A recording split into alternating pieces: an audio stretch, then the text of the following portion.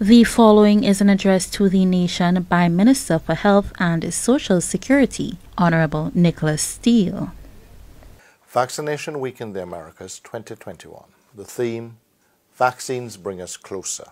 Get Vax. Vaccination Week awareness, celebrated every year in the last week of April, aims to promote the use of vaccines to protect people of all ages against disease. Immunization saves millions of lives every year and is widely recognized as one of the world's most successful health interventions.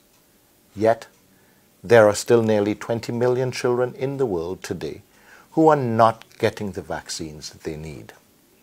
And many miss out on vital vaccines during adolescence, adulthood, and into old age.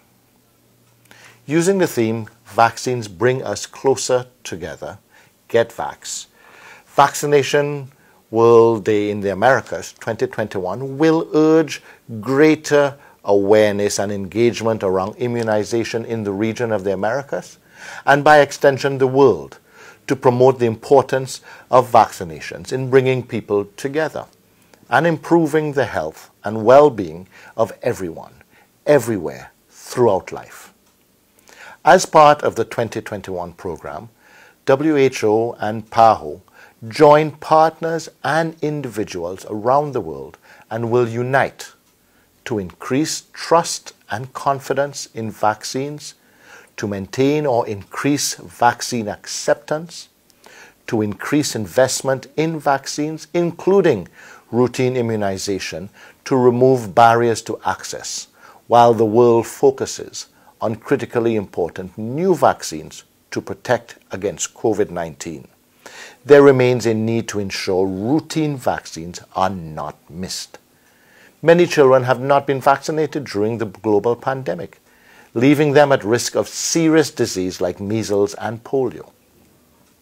Rapidly circulating misinformation around the topic of vaccinations adds to this threat.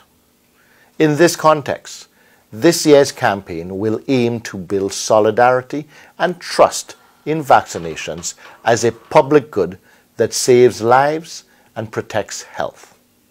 To this end, we will be looking for more partners to join us, bringing the people together in support of a life-saving cause.